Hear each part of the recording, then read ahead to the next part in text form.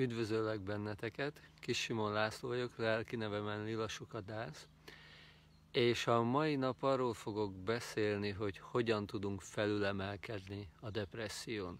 Lájkold az életet, emelkedj felül a depresszión. Itt tartok a kezembe egy Bhagavad Gita-t, és ez a Bhagavad Gita gyakorlatilag az első fejezetében Arjunának, a nagy hadvezérnek a szomorúságáról, depressziójáról szól. Nem akar harcolni a kuruksetrai csatamezőn, és barátjához, Krisnához fordul, hogy segítsen neki megoldani ezt a problémát. Ugye amikor valaki depressziós, akkor következetesen negatívan látja a saját magát, a környezetét, a jövőjét, az élettapasztalatait, és ebből kell valahogy kimozdulnia. És a Bhagavad Gita magyarázza, Krishna magyarázza a Bhagavad Gita-ban már az elejétől, hogy a depressziónak az alapvető oka a hamis azonosítás, hogy mi hamisan ezzel az anyagi testtel azonosítjuk magunkat az anyagi körülményeinkkel, és a hamis azonosságok kettőségekhez vezetnek. Öröm, szomorúság, tisztelet, gyalázat, siker, kudarc, győzelem, vereség, és amikor ennek a kettőségeknek a negatív oldalát tapasztalja valaki, akkor nagyon hajlamos lesz a depresszióra, a szomorúságra, és akkor bejönnek a különböző fájdalomcsillapítók, alkohol, drogok, hogy valahogy megoldja ezt a depressziót. Ugye Shakespeare így fejezi ki a Lír királyban, hogy mindenki jól tudja, mennyit hajszol mégis, még hogyha utána a pokolban ég is, mert az anyagi boldogság és az anyagi boldogtalanság össze vannak kapcsolva, mint az érem két oldal, hogyha megfogjuk az egyiket, megfogjuk a másikat is. És amikor éppen a negatív oldal van, akkor nem könnyű ezt kezelni. És ezért fordulnak az emberek ezekhez a szerekhez. Hogyan lehet ezt megoldani? De még mielőtt abba belemennék, akkor beszélnék három dologról, ami el tud vezetni bennünket a depresszióhoz. Ennél van sokkal több, de akkor fogok hármat említeni, és utána említek hármat, ami pedig radikálisan csökkenti a depressziót, és utána beszélünk egy kicsit még a Bhagavad Gita legjobb megoldási javaslatáról. Tehát, hogyha vesszük, hogy mi az, ami ö, a depresszióhoz tud vezetni, az első, ami eszembe jut, ez az összehasonlítgatás, hogy másokhoz hasonlítjuk magunkat, hogy valakinek mekkora háza van, a szomszédunknak milyen autója, milyen telefonja, és amikor másokhoz hasonlítgatjuk magunkat, az egy nagyon ö, könnyen depresszióhoz vezet. Amerikában csináltak egy felmérést, és két lehetőség közül lehetett választani választani az embereknek. Az egyik, hogyha keresnek egy millió dollárt, de a szomszédaiknak kevesebb van, vagy keresnek két millió dollárt évente, de a szomszédai, a szomszédaiknak több van. És mit gondoltok, melyikre szavaztak többen? Most elárulom a megoldást. Az emberek 85%-a az elsőre szavazott. Inkább keressen kevesebbet, de a szomszédainak legyen még kevesebb. Nem tudom, hogy ez Magyarországon hány százalékra jön ki, azt kérlek írjátok meg majd a kommentekben, de egy komoly depresszióhoz vezethet, hogyha másokkal hasonlítgatjuk magunkat.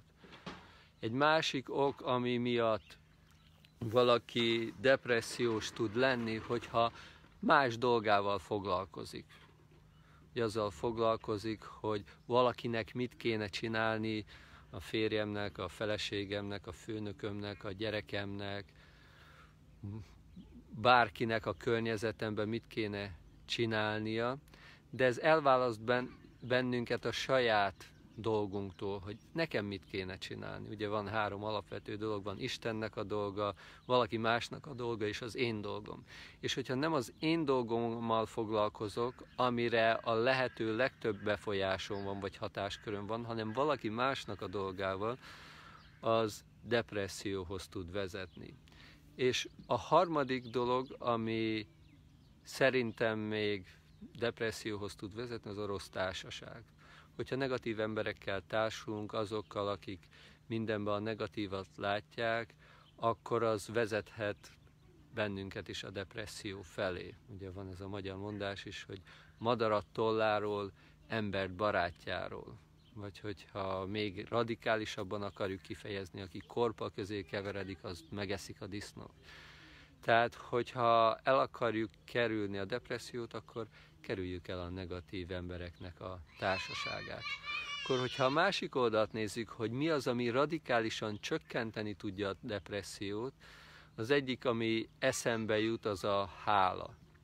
Hogyha hálásak vagyunk azért, amit, amit megkaptunk. Ugye itt vagyunk most, tavasz van, süt a nap, szépen kezd virágozni a természet, hogyha hálásak vagyunk azért, ami van most a jelen pillanatban nekünk, akkor az segít csökkenteni a bennünk lévő esetleges fájdalmakat. Vagy hogyha belegondolunk, a mai nap is tudtam enni, és van elég sok ember a világban, le, körülbelül egy milliárd, aki nem tud mindig akkor enni, amikor szeretne, és amikor arra koncentrálunk, amink megvan nekünk, szerető barátok vesznek körül, családtagok, akkor ez segít bennünket pozitívvá tenni. Vagy egy másik dolog, ami, ami vezet például a, a kivezet a depresszióból, joga, joga légzés, pránajám gyakorlatok.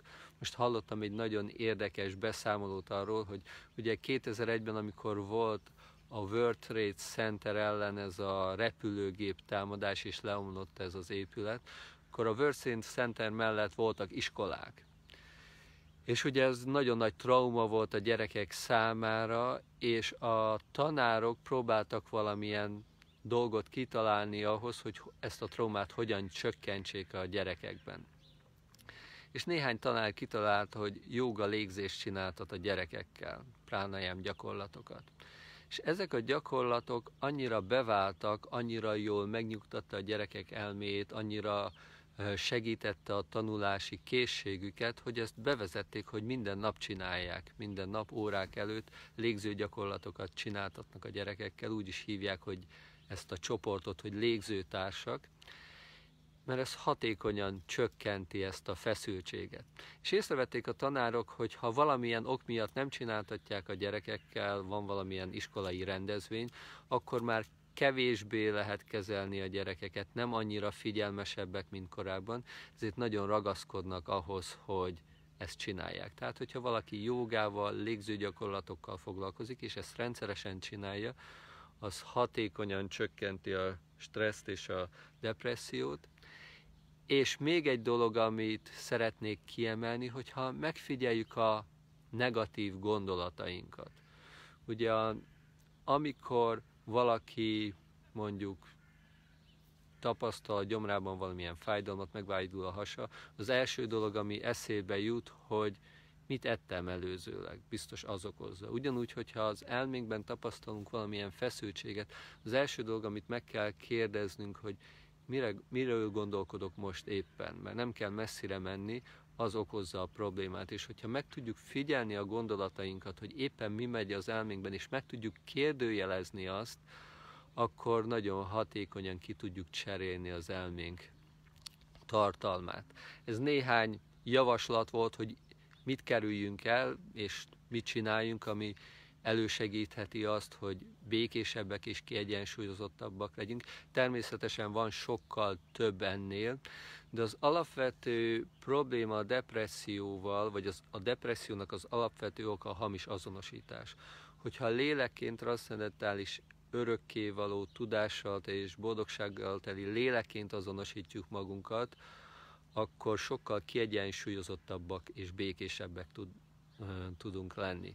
A Bhagavad Gita második fejezetének végén van egy vers, ami azt mondja, hogy a békét nem az éri el, aki igyekszik vágyait beteljesíteni, hanem akit nem zavar a vágyak szakadatlan özöne, amelyek úgy ömmelenek bele, mint a folyók az állandóan töltődő, ám mégis mozdulatlan óceánba. És a legkiemelkedőbb módszer, a leghatékonyabb módszer a depressziónak az előzésére, az Isten szent nevének éneklése, a Hare Krishna Maha Mantra, Hare Krishna, Hare Krishna, Krishna Krishna, Hare Hare, Hare Rama, Hare Rama, Rama Rama, Hare Hare. Köszönöm szépen a figyelmeteket. Két hét múlva újra bejelentkezek, péntek délután 5 órakor. Köszönöm szépen a figyelmeteket. Hare Krishna!